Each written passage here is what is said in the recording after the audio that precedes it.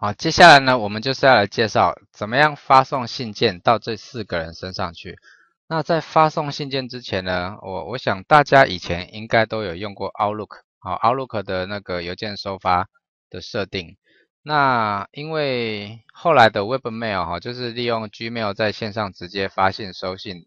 或者是 Yahoo 直接在线上，就是网站上直接收发信件，所以大家可能后来比较少使用 Outlook。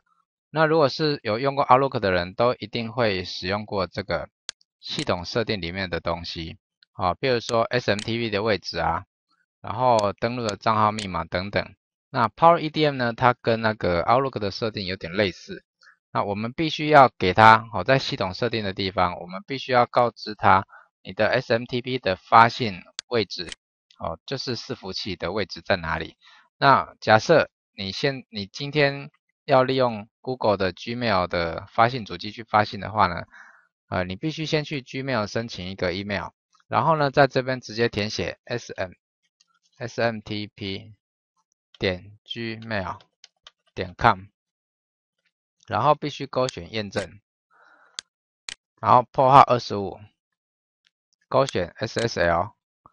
然后姓名，这个就是寄件人的姓名，你可以输入自己的名字。啊，比如说我的名字刘芳宇，然后信箱，信箱就是你的 Gmail 的信箱，我打我 Gmail 的信箱，然后登录的账号，以 Gmail 来说，Gmail 的登录账号就是等于自己的 email，然后登录的密码，你就打 Gmail 的登录密码。好，这个时候呢，我们就按一下测试发送信件，按一下。然后他会去验证一下是不是有发送信件哦，成功了，这边会写电子邮件测试传送成功啊，按确定。那这个时候再去按下储存设定，储存设定好，这样子就可以发信了。好，如果你也是用 Gmail 的话，你在这边就依照我的设定一样，好，SMTP 点 Gmail 点 com，然后二十五 p 好，这两个勾勾都勾起来。然后输入你的电子邮件 Gmail 的 email，好，还有你登录 Gmail 的密码，再按测试发送信件，哈，如果成功的话，就会跳出刚刚的讯息。那邮件签名档的部分呢，哦，请你插入自己的照片，还有你自己的联络讯息。那怎么插入照片呢？哦，在这边跟大家介绍一下，前面我们已经用过那个部落格了嘛，哈。那很简单，我们就到部落格去，一样先登录 gmail 点 com。好，这时候呢，我们就更多 blogger，然后呢，我们可以到我们的图库站，好，比如说我们的图库站，假设我在图库站里面，我再新增一篇文章，然后就写我的。大头照，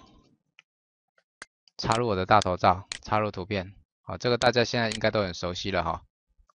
好，插入的图片，找一张，哎，好，找一张我的大头贴，开启，